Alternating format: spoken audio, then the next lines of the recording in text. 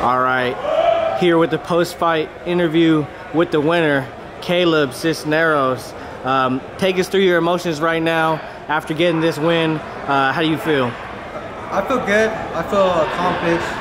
I'm super thankful to God. I'm super, super thankful for all the struggles that I've been through, for all the bullshit that I had to go through to get to this point.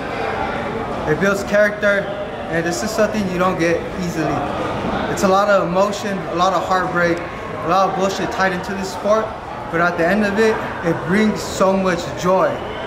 And this is something that we do. I've been doing this for since 2018.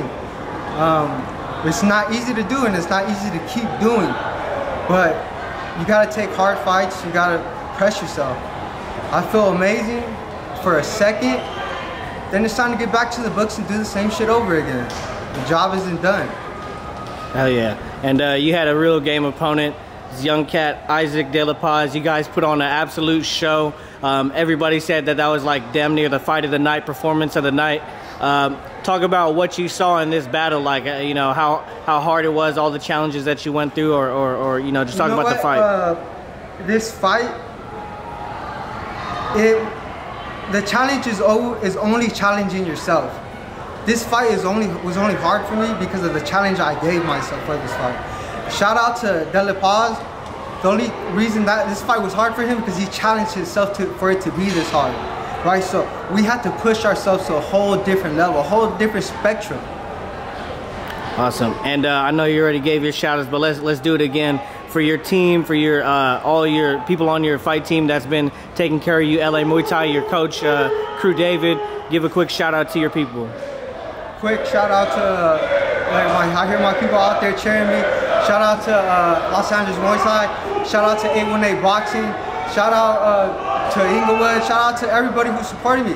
And for those of you who don't support me and you're just watching or don't really care, just shout out to all you motherfuckers. You know, it it, it just it's a grind. It's a grind. And uh, what do we got to look forward to from uh, Caleb? I already pressed George, man. I, I need I need the fans' help. I need your guys' help. I already asked for the belt. They're gonna have to give me a belt. I always get like fucking fight of the night or some shit because I'm not scared. When you ain't scared, you do what you're supposed to do. There's no there's no fucking fence. There's no boundary. There's no limit. You just press. They're gonna give me a title fight next. That's just the end of it. Absolutely. Hey, if you fight like that, I'm excited to see you again. And uh, also, let's get a just last message for everybody. It doesn't have to be on your fight team. Anybody out there that you do this for, um, and, and your friends, family members, your twin, everybody out there. What do you got to say? Your last message. yeah, um, believe in something and just just walk with it. Don't you don't have to grab that bitch and run with it. Grab that bitch, walk with it, and keep walking until you learn how to run with that shit. And don't worry don't worry about what the fuck else is going on. Just focus on what's gonna make you happy in the long term. Hell yeah. All right. This has been the post fight interview. Caleb Cisneros, thank you so much. Hell yeah. West Side.